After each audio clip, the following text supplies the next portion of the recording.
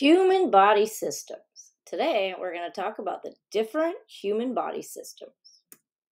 So, our objectives today describe how the human body is organized and explain homeostasis. How is the body organized? All right, so first we have cells. So, every cell in the body is both an independent unit and an interdependent unit. The levels of organization in a multicellular organism include cells to tissues, so cells make up tissues, tissues make up organs, and organs make up organ systems.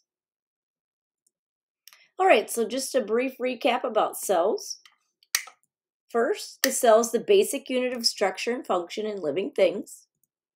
It's uh, we have specialized cells that perform a particular function.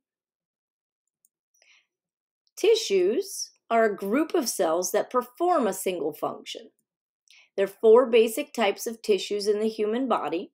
We have the epithelial tissues, which include glands and tissues that cover body surfaces. We also have connective tissue, which provide support for the body and connect its parts. We have nervous tissue, which transmits nerve impulses. And we have muscle tissue, along with bones, enables the body to move. All right, now we have organs. So, a, an organ is a group of different types of tissues that work together to perform a single function.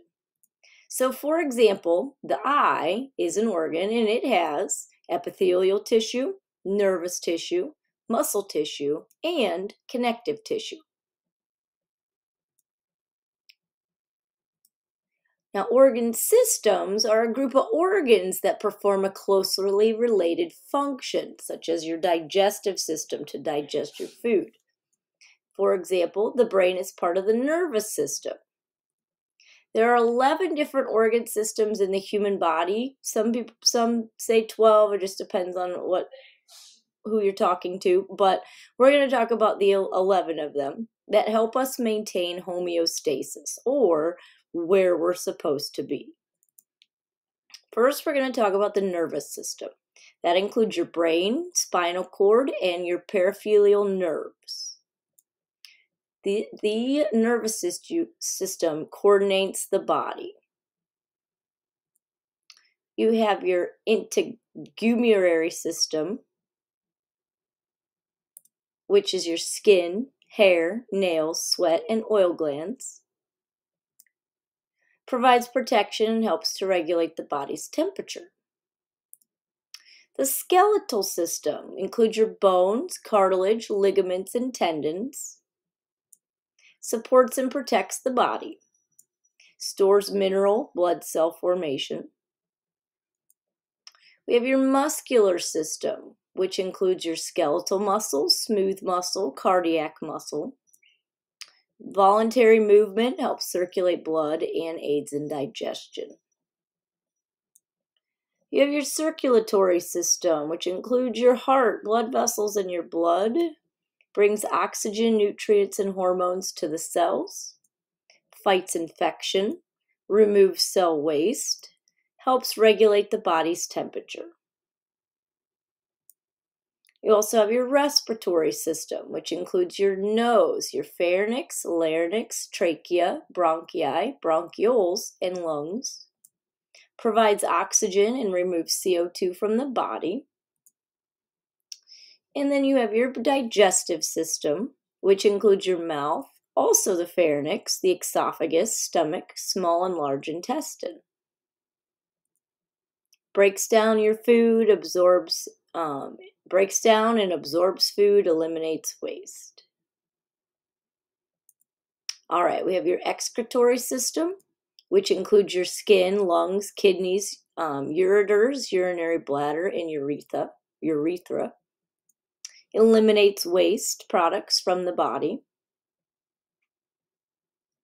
You have your endocrine system, which is your hypothalamus, your pituitary, your thyroid, parathyroids, adrenals, pancreas, ovaries, testes uh, for female and males.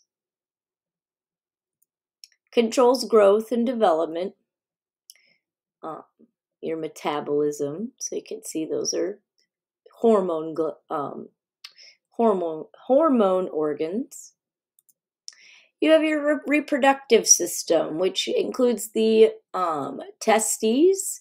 Uh, you also have the ovaries, the penis for um, females and males. Uh, provide provides reproductive cells. And then you have your lymphatic, also known as your immune system, which includes your white blood cells, your thymus, spleen, lymph nodes, lymph vessels. Helps protect the body from disease, collects lost fluids, and returns the fluids to the circulatory system. All right, maintaining homeostasis. Homeostasis is the maintaining of internal balance. Homeostasis requires the integration of all organ systems at the same time.